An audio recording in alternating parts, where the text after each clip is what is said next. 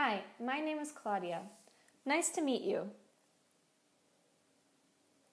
Today we will be talking about pragmatics, specifically about cooperation and implicature. At first, we have to assume that a communication is based on cooperation and the general aim is not to confuse or trick and, in general, not to withhold relevant information from each other. These apparently pointless expressions are called tautologies and show the speaker's or writer's intention to communicate more than is being said. This seemingly nonsensical expression has an additional conveyed meaning. It is called implicature.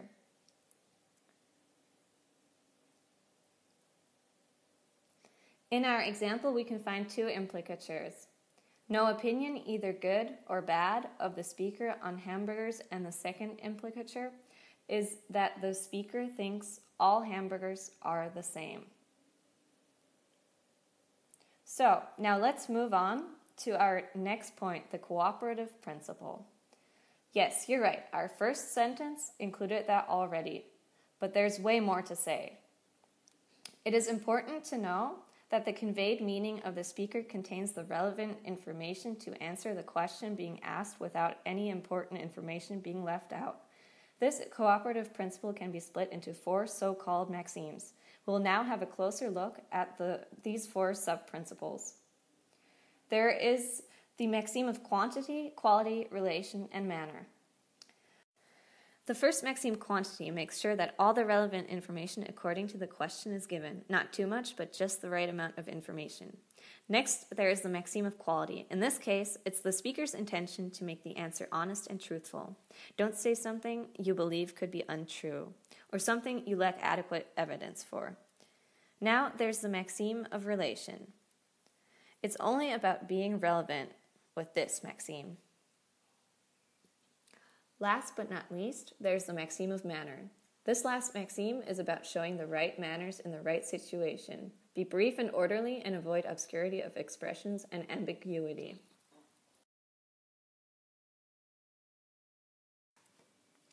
Using these four maxims, people try to be as clear, truthful, and relevant as possible. Of course, it is not always possible to follow all of these maxims in every situation people are unable to adhere to the maxims, there are indicators which can be used in order to show that the speaker is trying to follow but can't promise to fulfill all the criteria of the maxims mentioned previously. These expressions are so called hedges, and examples are following, matching the maxims. Here are examples according to the maxim of quantity. It is important to note that there are situations violating this maxim, such as courtrooms and classrooms. Here's another example according to the maxim of quality. And another example according to the maxim of relation.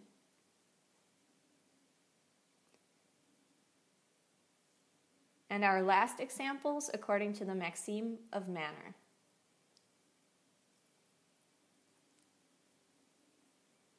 Got this? Great. So now let's get to our last topic of the video. The following aspect is seen by many linguists as a central part of pragmatics, implicatures. There are six different types of implicatures, conversational, generalized conversational, scalar, particularized conversational, properties of conversational implicatures, and last but not least, conventional implicatures. Conversational implicature conveys more meaning than is being said. Speaker 1 assumes that Charlie hasn't arrived.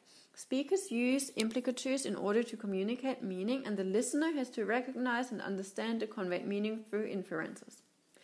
If the listener doesn't have knowledge of the context of an utterance, but they still understand the conveyed meaning, the speaker may have used generalized conversational implicature.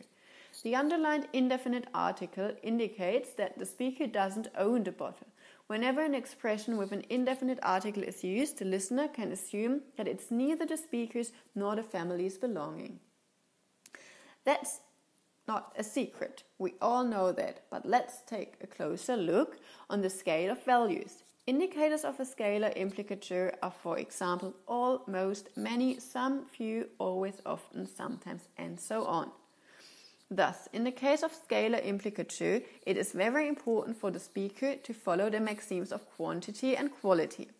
The speaker selects the most appropriate word from the scale above, which is most truthful and informative according to the situation. The implicature in this case would be that the lecture is never uninteresting, which is indicated by always. But watch out, there are different types of scales. One of these is the scale of likelihood. Of course, there is an example for this one as well.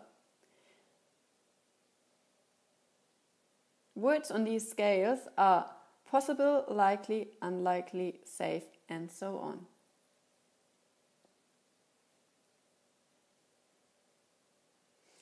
Now let's get to a quite interesting and funny implicature, the particularized conversational implicature.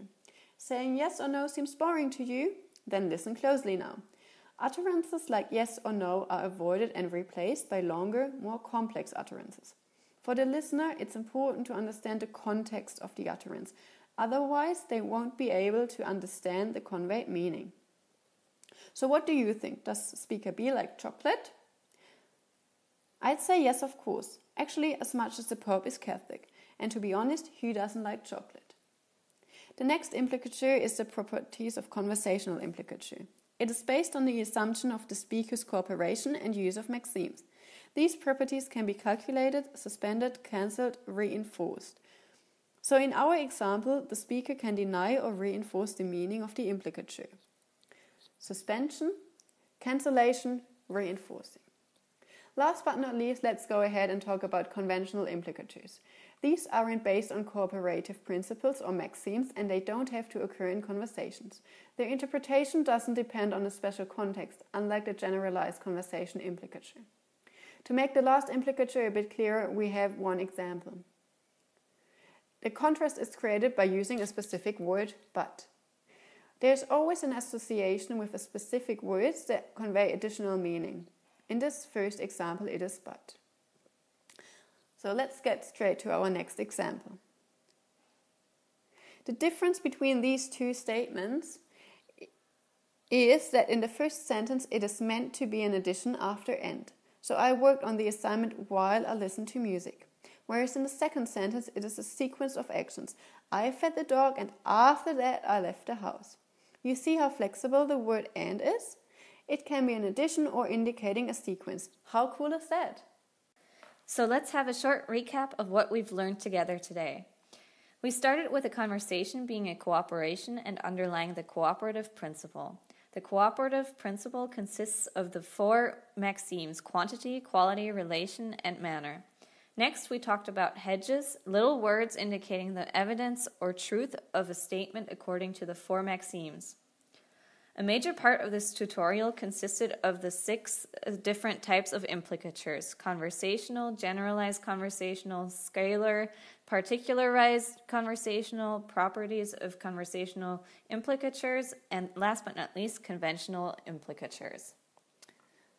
I hope you enjoyed this video, and see you soon!